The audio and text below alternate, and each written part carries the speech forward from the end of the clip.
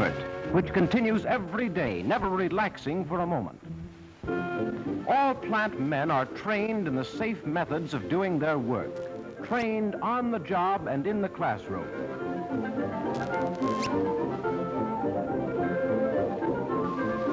Safety posters carry the constant reminder, here is the safe and therefore the right way to do the job.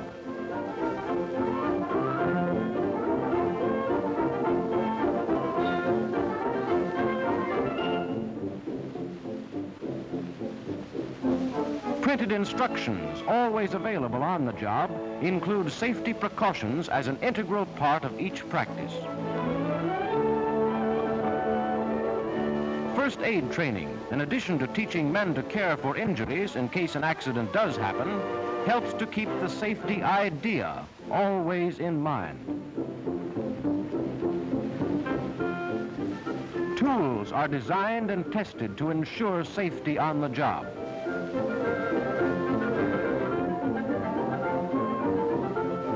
Equipment and materials are selected and made to meet strict specifications, which cover the safety as well as the service requirements of the job. All these things, training, safe practices, safe tools, safe, dependable equipment, have enabled us to build up a fine safety record.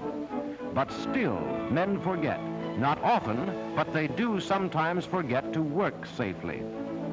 And when that happens, the stage is all set for an accident. The stories back of accidents, when they do occur anywhere in the Bell system, are told in a report, how plant men are injured. And each month, this report is distributed throughout the system.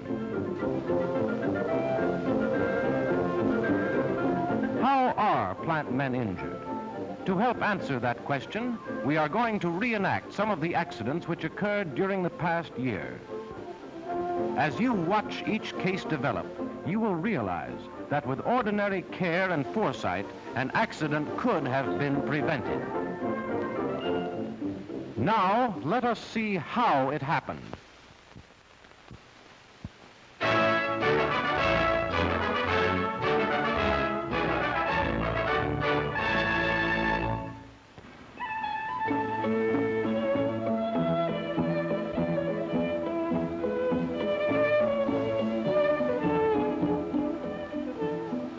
This repairman is working on trouble and has been given an ordinary job of clearing a party line open.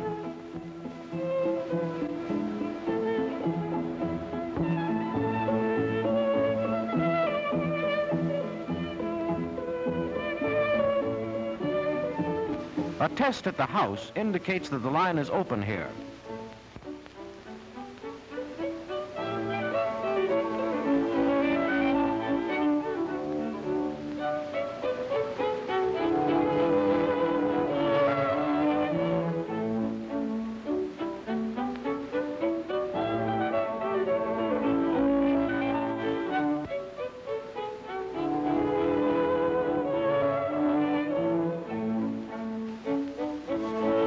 Test at the terminal shows that the line is good to this point, and the trouble is in the drop wire.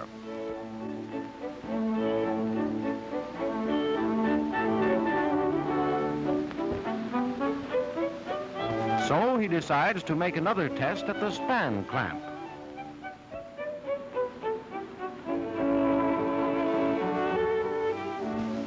If it tests okay at the span clamp, he plans to cut the drop wire and replace it between the strand and the house.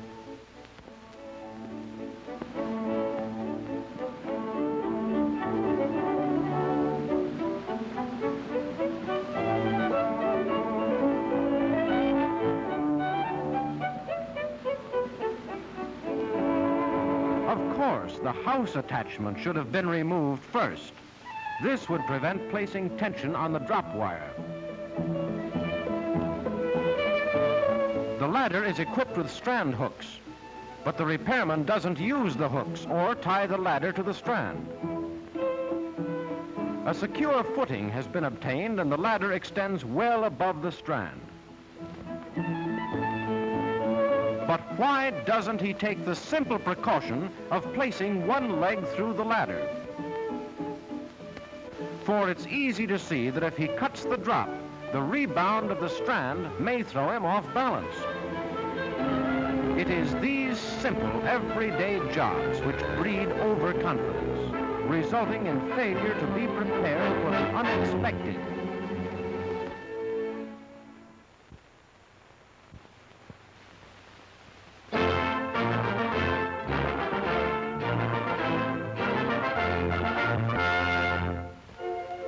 An open wire line is being rebuilt because of changes in the highway. These two linemen are going to splice through a group of wires on a 40-foot pole.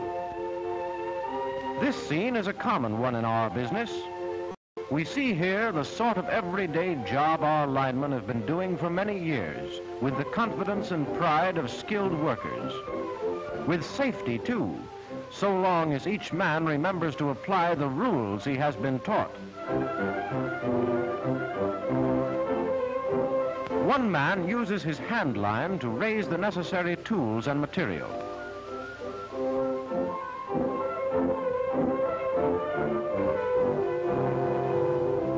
Here is another case where a combination of unsafe practices brings about an accident. For example, when finished with the hand line, the lineman snaps it to his body belt instead of tying it to a cross arm.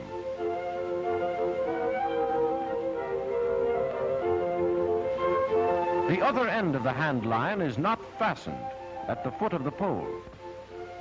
The foreman starts for the other end of the line where more of his men are working.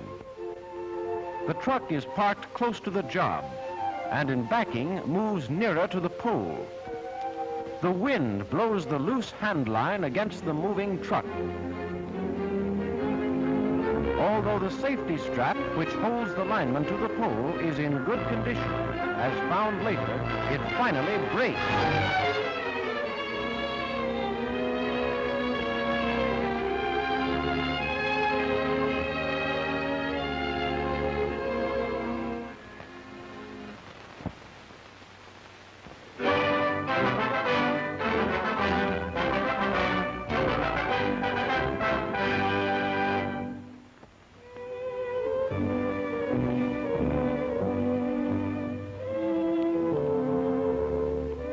This installer has rerun several drop wires and is about to remove the old ones.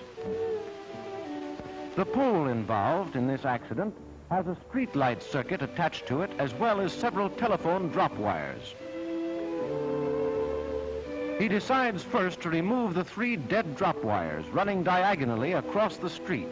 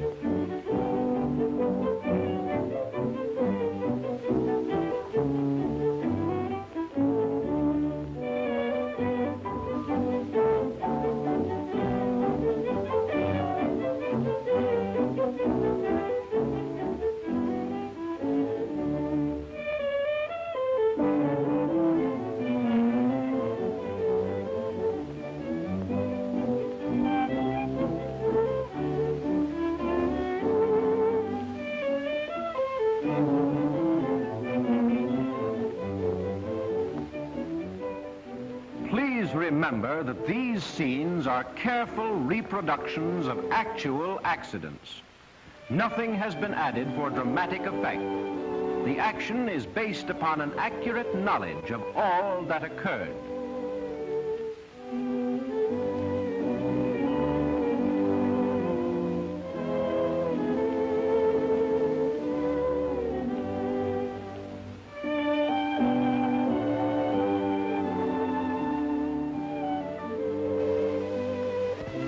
Apparently intends to test the pole.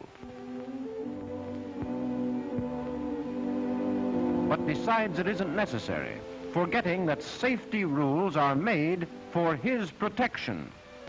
The top of the pole is supported by the two drop wires on the left, pulling against the street light wire on the right. Here again, the drop wire should be removed at the house first, permitting the usual pike pole test. The power wires above are not attached to this old pole.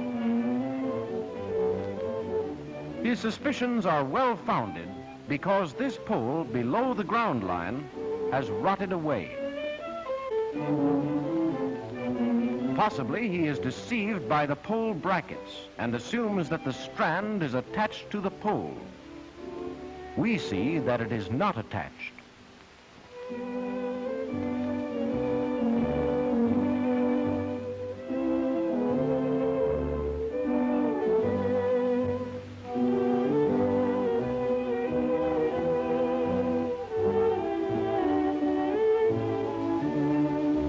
As he cuts these drop wires, he fails to realize that he is removing the support from one side of the pole.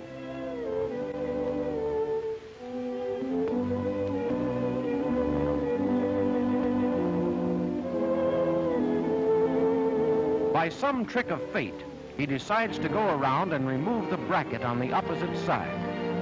The shifting of his weight is just enough to start the pole.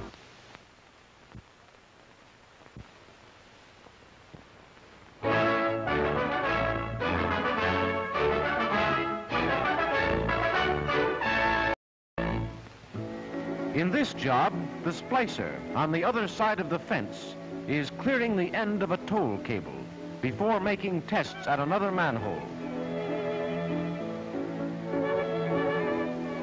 The way the work is performed in this case demonstrates the importance of replacing defective tools.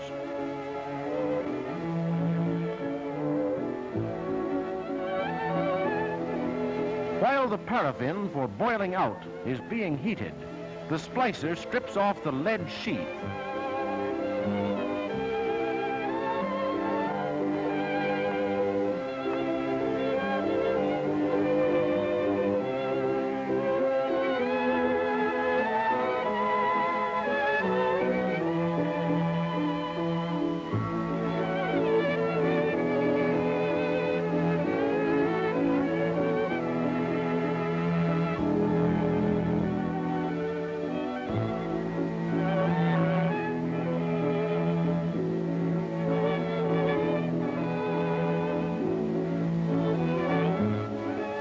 A broken thermometer.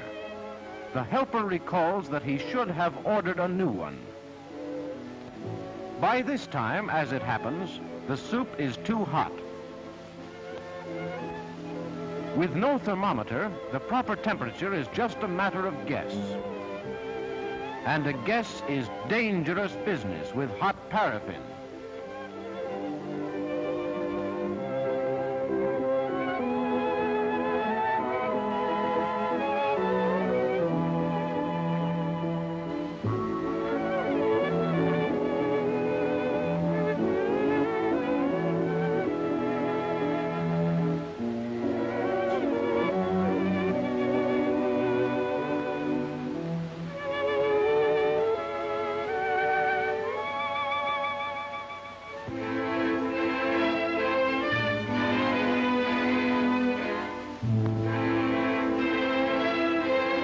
Overheated paraffin is poured on the wires, it flashes with painful results.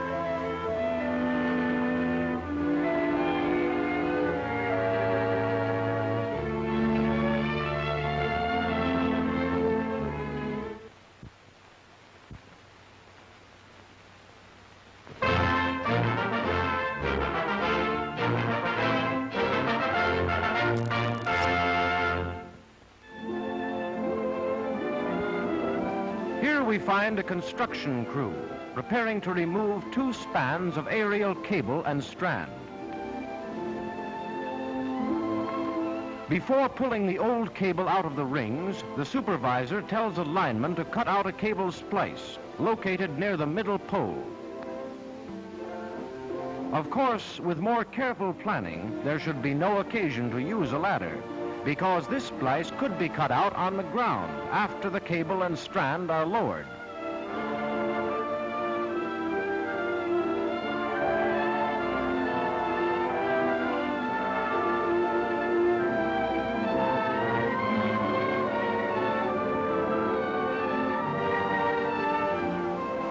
While the splice is being cut out, another lineman straightens the cable at the next pole so it will pull out freely.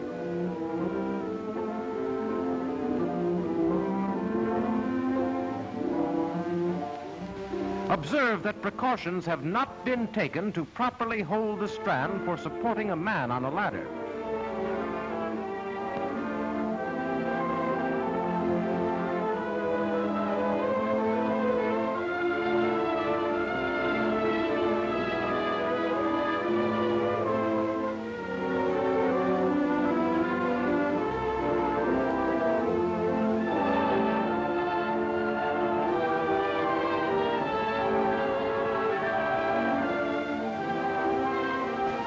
First lineman has remained in position on the ladder to pull the cable from the rings.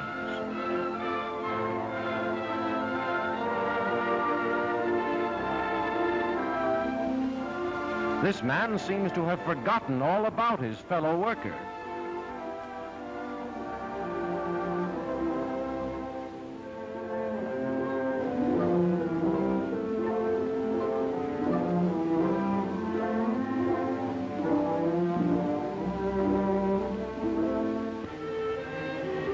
Under no circumstances should these nuts be loosened without first making sure that everyone is in a safe position and that there is no chance of anything going wrong.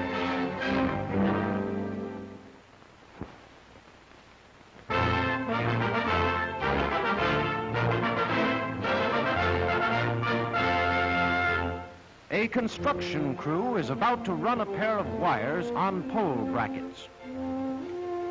A 2300 volt bare wire power circuit is seven feet above the telephone line on 35 foot power company poles.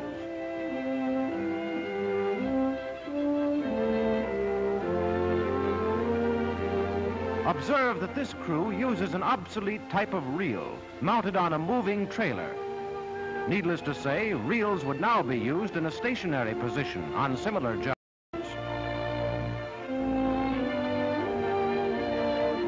Even if the equipment and method are obsolete and hold certain elements of danger, there are rubber gloves. But they're on the truck, where rubber gloves can never save a man's life. Several things contributing to this accident will happen fast, so watch closely. In a minute, you'll see one of the wires catch over a reel stanchion. As it becomes taut, it is flipped up into the power wires. And at that moment, the man at the reel, in trying to free the tangle, comes in contact with the charged telephone wire. Here it is. The reel locks. The wire tightens. It flips up. Don't touch that wire. But unfortunately, he did.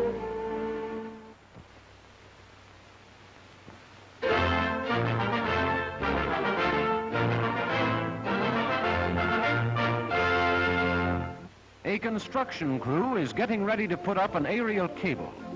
The day before this accident occurred, a 6,000 pound strand was placed. In doing this, it became necessary to splice the strand. Of course, all the guy clamp bolts on both sides of the strand connector should be securely tightened.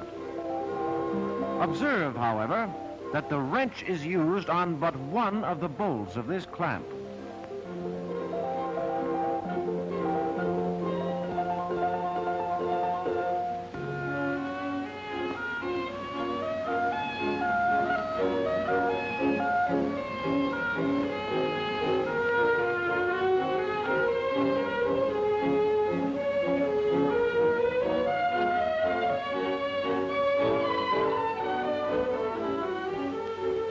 A dynamometer is used to obtain the proper tension when the strand is pulled up.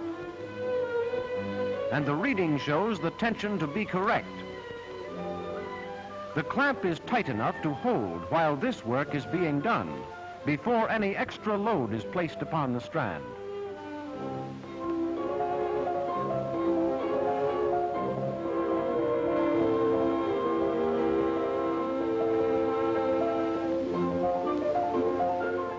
Next day, a lineman starts to place cable rings in the span where the splice had been made.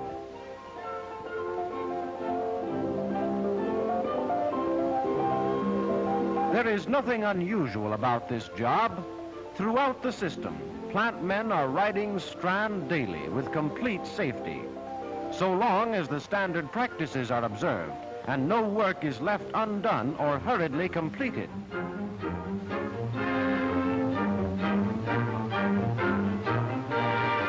When the lineman is about midway in the section, the strand pulls out.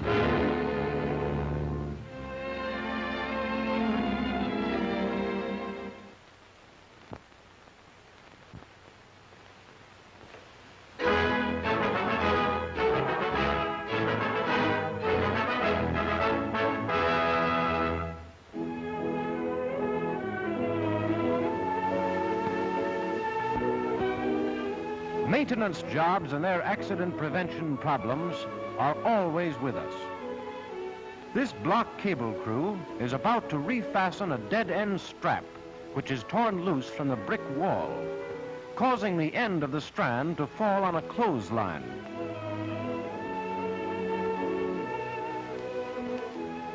The foreman decides to have the anchorage holes relocated. Without taking the precaution of first supporting the strand and cable securely, one lineman prepares to drill the holes from the top of the ladder.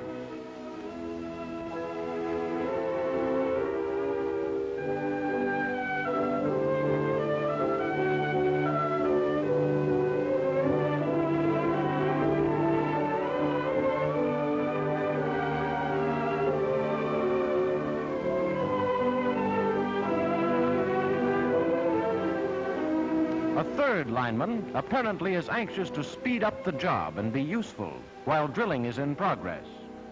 He disregards the safety rule that only one man shall work upon a ladder at one time. Nevertheless, another accident can be avoided if he hooks his leg around a ladder rung. But he doesn't. And when the strand pulls loose, over he goes.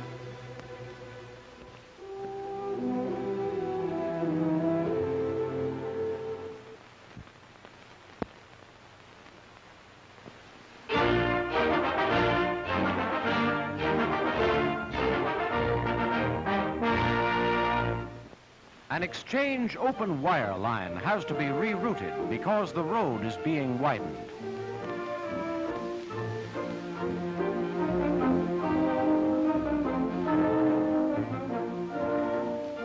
The foreman tells a lineman to supervise the work of pulling in four pairs of copper wires on the new poles while he looks over another part of the job. He says to the lineman in charge, a 110 volt service wire crosses the line a few spans further down. I guess you can run the wires out on the ground and pull them over the service wires. Then on the way back, lay them up on the cross arms. I'll take care of it, the lineman replies. The wires are out on the ground from the reels. Across a as thought The telephone wires should not be allowed to come in contact with the electric light wires, even if the insulation were in good condition.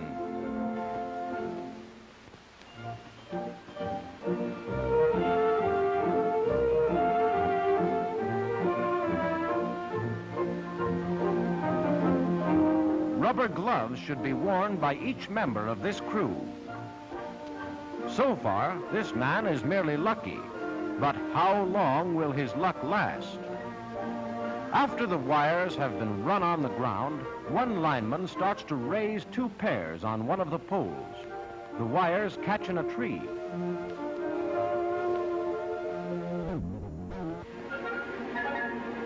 And the lineman on the ground tries to shake them loose.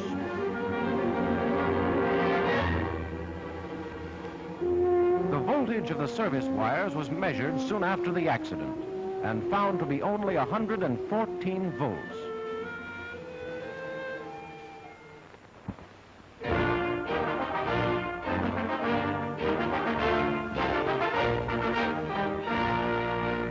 Good housekeeping should be followed in this cable vault as well as on every plant job. This case shows why everyone must be constantly on the alert to avoid creating needless hazards for fellow workers.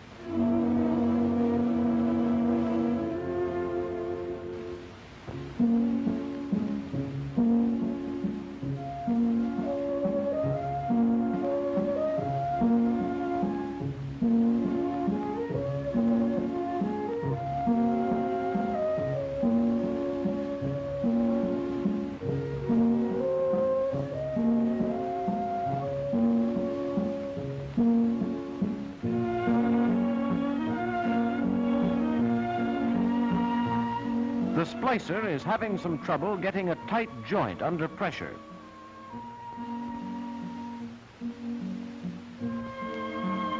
The foreman offers to try his hand at wiping one himself.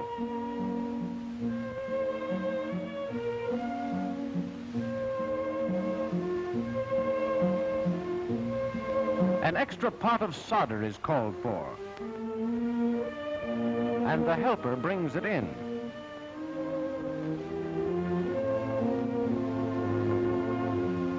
Of course, it should not be left here on the floor.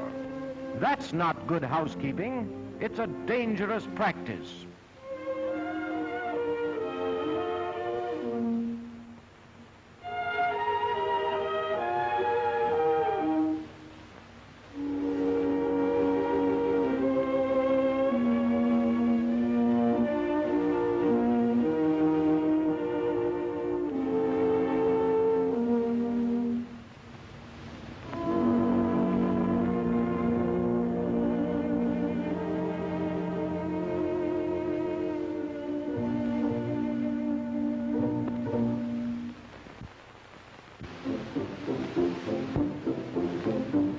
Have reproduced for you a few accidents from the record. Happily, there are not many like them. But all tell the same story. A thoughtless act. A safety rule ignored. A shortcut. A job poorly planned. Often we get by. But occasionally we are not so fortunate, and fate decides the result. Telephone work is safe work. The men of the Bell system have fewer accidents on the job than off the job. Day by day, they are proving under a countless variety of conditions that a skilled workman is a careful workman and that accidents need not happen. They know what safe practices are and that safety and efficiency go hand in hand on every job. If this one fact is never forgotten, there will be no accidents, either minor or serious. So before any job is begun, let's all give as much thought to planning for safety as to planning for production.